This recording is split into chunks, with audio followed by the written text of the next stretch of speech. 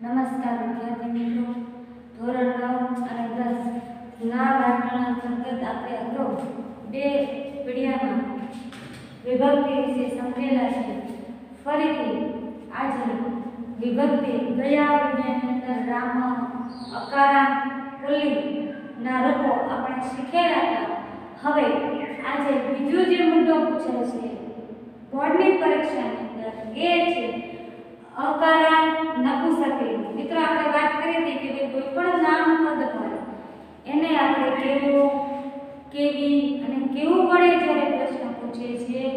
અને એ જ આધારે જે એના ધ્વનિઓ છૂટા પાડે છે અંતે જે વર્ણ આવે છે, એ આધારે અકારાંત ઇકારાંત અને ઉકારાંત અને એ જ પ્રમાણે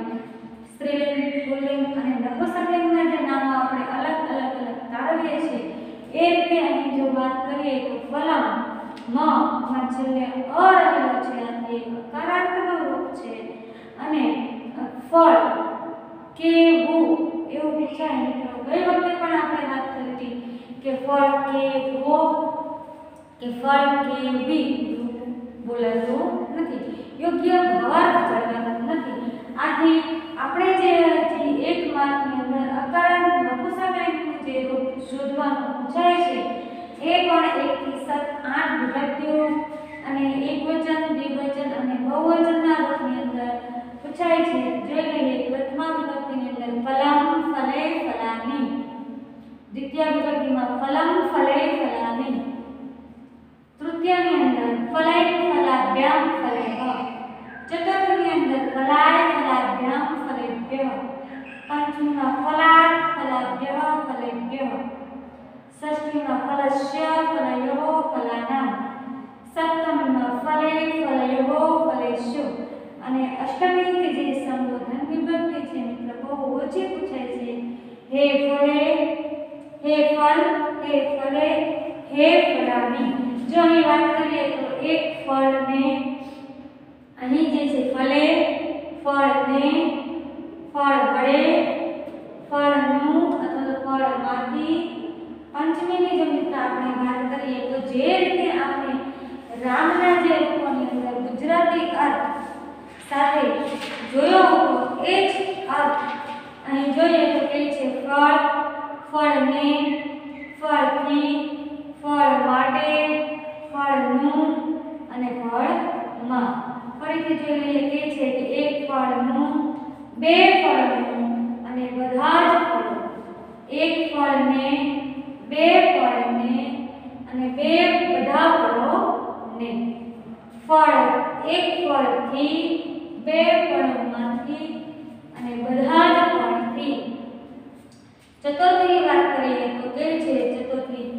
એક ફળ માટે, બે ફળ માટે અને બધા જ ફળો માટે. પંચમીમાં વાત કરીએ તો ફળમાંથી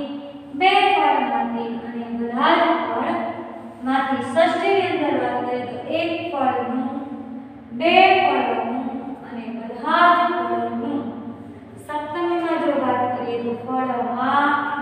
બે ફળોમાં બધા જ ફળોમાં. મિત્ર, આજે છે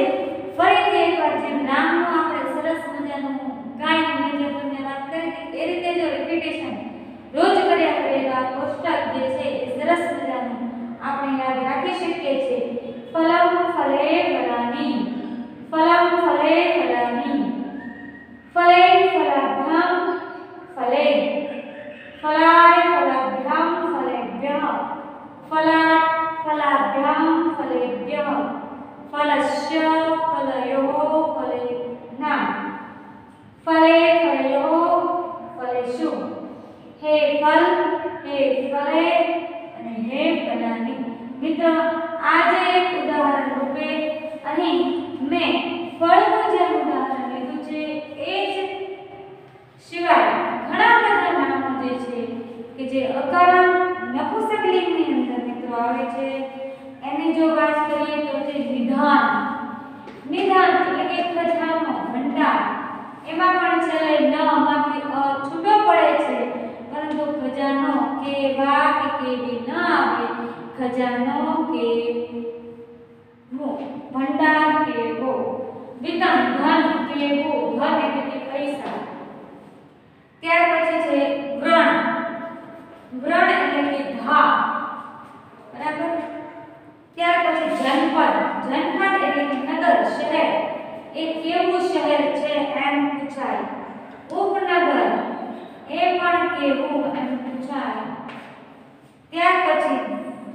વ્યસન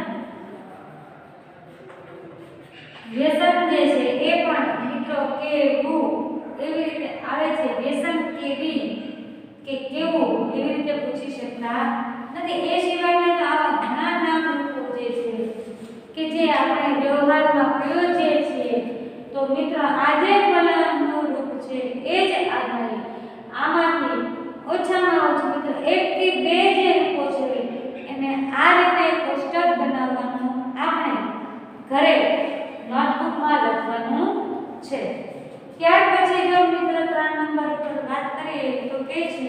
ઈકારાંત સ્ત્રીલિંગ એટલે કે જે નામને અંતે ધ્વનિમાંથી ઈ છૂટો પડતો હોય એવા નામ પદો અને હે સ્ત્રીલિંગ, એટલે કે એને કે વી વડે પ્રશ્ન પૂછાય, તો અહીં ભૂમિ, નદી આ જે રૂપો છે, એ કે વી, બરાબર? એ રૂપે પૂછાય છે,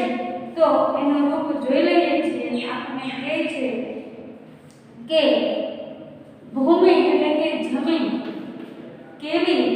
એટલે સ્ત્રીલિંગ અને ઈ એ હસ્વઈ છૂટો પડે છે મિત્ર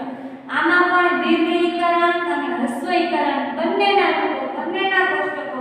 અલગ અલગ પૂછાય છે આ ભૂમિ જે છે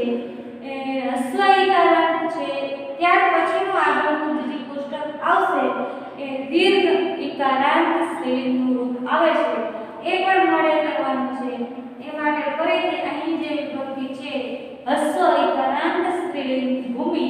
ની વાત કરીએ તો ભૂમિ ભૂમિ ભૂમયઃ ભૂમિ ભૂમિ ભૂમિઃ ભૂમ્યા ભૂમિભ્યામ ભૂમિભિઃ ભૂમ્યે ભૂમિભ્યામ ભૂમિભ્યઃ ભૂમ્યઃ ભૂમયોઃ ભૂમિના ભૂમ્યામ ભૂમયોઃ ભૂમિષુ હે ભૂમે હે ભૂમિ હે ભૂમયઃ મિત્રો આજે ભૂમિ હસ્વ એકના ખાસ અને દીર્ઘ બંને પૂછાય છે નવ અને તો હસ્વ એકના ભૂમિ સિવાયના જે ઉદાહરણો છે કે જેને આપણે આપણે નોટબુકમાં કરવાનો છે. તો એની અંદર છે વૃષ્ટિ એટલે વરસાદ. ત્યાર પછી છે નીતિ. એટલે કે આપણી જે નીતિ છે, એની વાત કરીએ છે શક્તિ. ત્યાર પછી ગતિ પ્રીતિ રાત્રિ મિત્રો આ સિવાયના પણ ઘણા બધા શબ્દ જે છે કે હસ્વ આ જે શબ્દના તમે ધ્વનિઓ છૂટા પાડો તો અંતે આપણને ઈ હસ્વઈ પ્રાપ્ત થાય છે આથી ઈકારાંત છે અને એને જો કેવું કેવી કેવું વડે પ્રશ્ન પૂછો તો એનો જવાબ વૃષ્ટિ વરસાદ, નીતિ કેવી, શક્તિ કેવી, ગતિ કેવી પ્રીતિ કેવી અને રાત્રિ કેવી ઘનઘોર કટાટો હતી. તો આ જે શબ્દો છે, એમાંથી આપણે ઓછામાં ઓછા બે જે શબ્દ છે, એનો માત્ર વ્યાકરણની નોટબુકમાં ઉતારવાનો પ્રયાસ કરવાનો છે. ફરીથી એકવાર ભૂમિનું રૂપ જોઈ લઈએ તો કે છે, ભૂમિ. ભૂમિ અને ભૂમય. ભૂમિ ભૂમિ ભૂમિહ. ભૂમ્યા ભૂમિભ્યામ ભૂમિભિઃ.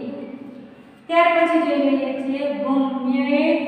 ભૂમિભ્યામ ભૂમ્ય ભૂમ્યામ ભૂમ્યો ભૂમિષુ. હે ભૂમે, હે ભૂમિ, હે ભૂમ મિત્ર, આ બંને કોષ્ટક જેટલા કોષ્ટક છે એને લગતા ઘણા બધા ઉદાહરણો આવે છે એને લગતા આપણે બેથી ત્રણ આપણે આપણી રીતે જો વધારે પ્રયત્ન કરશું, વધારે શીખીશું, તો એ આપણે સરળતાથી જે પરીક્ષામાં પૂછાય છે, એ રીતે આપણે ઓળખવાનો પ્રયાસ કરી શકીશું. હવે આગળ જોઈએ છીએ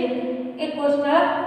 આપણે દીર્ઘ ઇકારાંત નદીનો જે રોગ છે, એને શીખવાનો પ્રયાસ કરીશું.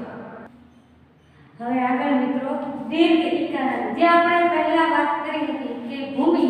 એ હસ્વ ઇકારાંત નામ છે, જ્યારે ભૂ નદી જે છે, એ દીર્ઘ ઇકારાંત સ્ત્રીલિંગના નામ રૂપની અંદર આવે છે. આ જે નદી જે છે, એ નદી પણ સ્ત્રીલિંગમાં નદી દેવી એમ પૂછાય છે અને એના જો ભૂમિઓ છૂટા પાડો મિત્રો, તો છેલ્લે અંતે ઈ ધ્વનિ છૂટો પડે છે, આથી નદીને ઈકારાંત નામરૂપ કહેવામાં આવે છે. હવે એના જો રૂપો જોઈએ છે તો એકથી આઠ વિભક્તિ, એક વચન દ્વિવચન અને બહુવચન જોઈ લઈએ તો કે છે નદી નદ્યા નદ્ય નદી નદ્યા નદી નદ્યા નદીભ્યઃ નદીભ્યઃ નદ્યે નદીભ્યામ નદીભ્યઃ નદ્યા નદીભ્યામ નદીભ્યઃ નદ્યા નદ્યો નદીનામ નદ્યા નદ્યો નદીષુ હે નદી હે નદ્યા હે નદ્યઃ આ જે છે, એમાં પ્રથમાજન વૃત્તિ, એક રૂપે એક નદી માટે, નદ્યા, નદ્યો એટલે કે બે નદી અને નદ્ય એટલે કે વિશ્વની બધી જ નદીઓનો જ્યારે ઉલ્લેખ થાય, ત્યારે નદ્ય વપરાય છે. નદી એક માટે નદ્યો બે વચન માટે નદી એ બે અથવા તો બધી જ નદીઓ માટે વપરાય છે મિત્ર એ માટે જ્યારે આપણે રામના રૂપની વાત કરી હતી, એ જ પ્રત્યે લાગે છે કે નદી બે નદી માટે અને બધી જ નદીઓ માટે નદીને બે નદીને બધી જ નદીને એક નદીમાંથી બે નદી મા- માંથી અને બધી જ નદીઓમાંથી ચતુર્થી વિભક્તિની વાત કરીએ તો એક નદી માટે બે નદી માટે બધી જ નદીઓ માટે પંચમીમાં વાત કરીએ તો એક નદીમાંથી બે નદીમાંથી અને બધી જ નદીઓમાંથી ષષ્ઠીમાં નવમીમાં લાગે છે એક નદીનું બે નદીનું અને બધી જ નદીઓનું સપ્તમી વાત કરીએ તો એક નદીમાં બે નદીમાં અને વિશ્વની બધી જ નદીઓમાં એટલે આ જે છે ફરીથી એકવાર જોઈએ નદી નદ્યો નદ્યઃ ત્યાર પછી નદી નદ્યો નદી ત્યાર પછી નદ્યા નદીભ્યામ નદીભિઃ નદ્યે નદીભ્યામ નદીભ્યઃ નદ્યા નદીભ્યામ નદીભ્યઃ નદ્યા નદ્યો નદીનામ નદ્યા નદીશુ હે નદી હે નદ્યો હે નદ્યઃ મિત્ર આ દીર્ઘ ઇકારાંતને લગતા બીજા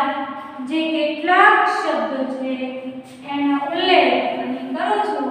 કે જે આપણે વ્યાકરણની નોટબુકની અંદર આવા જ કોષ્ટક રીતે તેને બનાવીને લખવાનો છે તો દેવી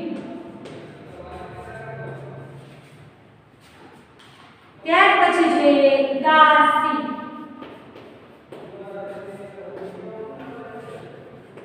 ત્યાર પછી જોઈએ નારી આગળ શબ્દ છે પાપી અને ત્યાર પછી છે શતાબ્દી શતાબ્દી આ જે શબ્દ છે એ ઉપરાંત મિત્ર સંસ્કૃત પાઠ્યપુસ્તકની અંદર ઘણા બધા દીર્ઘ ઇકારાંતના જે શબ્દો હશે કે જેનું આવું કોષ્ટક કોઈ એક નદી કોઈ એક સદીની વાત થતી હોય કોઈ એક નારીની બે નારીની કે બધી જ સ્ત્રીઓની વાત થતી હોય એ પ્રમાણે આ જે કોષ્ટકના રૂપો છે એ પણ મૂકવામાં આવે છે ફરજિયાત મિત્રો બે જે રૂપો છે એ આપણે વ્યાકરણની નોટબુકમાં નદીની જેમ નારી દાસી દેવી વાપી અથવા તો શતાબ્દીમાંથી બનાવવાના છે. અને ત્યાર પછી મિત્રો, જે છેલ્લે વિભક્તિમાં એક કોષ્ટક છે, એની વાત કરીએ, તો આકારાંત સ્ત્રીલિંગ. એમાં છે પાલા ધ્વનિઓ છૂટા પાડો, તો અંતે ધ્વનિ આ છૂટો પડે છે. એટલે એ આકારાંત છે અને બાલા એટલે કે બાલિકા જે બાળકી છે એની વાત કરેલી છે એટલે સ્ત્રીલિંગ શબ્દની અંદર આવે છે એમાં જોઈએ બાલા બાલે બાલાહા બાલમ બાલે બાલાહા બાલયા બાલાભ્યામ બાલાભી બાલાએ બાલાભ્યામ બાલાભ્ય બાલયઃ બાલાભ્યામ બાલાભ્ય બાલયઃ બાલયો બાલાનામ બાલયામ બાલયો બાલાશુ હે બાલે હે બાલે હે બાલા મિત્રો આજે બાલાનું કોષ્ટક છે આકારાંત સ્ત્રીલિંગના રૂપો એ પણ ધોરણ 9 અને 10 ની અંદર જે અંતિમ વાર્ષિક પરીક્ષા જો 10 ની વાત કરીએ તો બોર્ડમાં અને 9 માં વાત કરીએ તો જે વાર્ષિક પરીક્ષા લેવાની છે એમાં આ રૂપો પૂછાય છે. ફરીથી બાલા બાલે બાલાહા બાલામ બાલે બાલાહા બાલયા બાલાભ્યામ બાલાભિः બાલાએ બાલાભ્યામ બાલાભ્યઃ બાલયઃ બાલાભ્યામ બાલાભ્યઃ બાલયઃ બાલયો બાલાનામ બાલયામ બાલયો બાલાશુ હે બાલે હે બાલે હે બાલા હા મિત્રો આને જ લગતા કેટલાક ઉદાહરણો જે છે એ અહીં રજૂ કરું છું એમાંથી તમારે તમારી સંસ્કૃતની નોટબુક વ્યાકરણની નોટબુકમાં ઉદાહરણ રૂપે બે બનાવવાના છે. મક્ષિકા માખી મિત્રો સ્પેલિંગની અંદર આવે છેલ્લે કા એટલે કે આ કરાંતના રૂપ બને છે સાધિકા ત્યારબાદ છે શાલા જે આપણે શાળામાં બને કે શાલા શાલે શાલાહા શાલામ શાલે શાલાહા શાલાયા શાલાભ્ય શાલાભિઃ શાલાયે શાલાભ્યામ શાલાભ્યઃ શાલાયાः શાલાભ્યામ શાલાભ્યઃ શાલયાः શાલયો શાલનામ શાલયામ શાલયો શાલાશુ એ જ રીતે નિશા છાયા ત્યાર પછી કન્યા પ્રભા આ જે શબ્દ છે મિત્ર, એ આકારાંત સ્ત્રીલિંગના રૂપોની અંદર આવે છે. વ્યાકરણની નોંધમાં આ જે શબ્દ મૂકેલા છે, એમાંથી બેથી ત્રણ કોષ્ટક આપણે આપણી રીતે શીખવાનો અને લખવાનો પ્રયાસ કરવાનો છે. મિત્ર, આ જે કોષ્ટક છે એક રામ વાળું જે છે, એ છે આકારાંત પુલ્લિંગ. આકાર અકારાંત નપુંસકલિંગ ત્યાર પછી આકારાંત સ્ત્રીલિંગ અને ઈકારાંતના બે છે હસ્વઈ અને દીર્ઘઈ સ્ત્રીલિંગના જે રૂપો છે આ જે પાંચ કોષ્ટકો છે એ પાંચે પાંચ કોષ્ટકો આપણે સંસ્કૃતની વ્યાકરણની નોટબુકમાં ફરજિયાતપણે લખવાના છે. અને આ પાંચે પાંચ કોષ્ટકને લગતા ઉદાહરણ મિત્ર મેં બાજુમાં ટાંકીને તમને આપેલા છે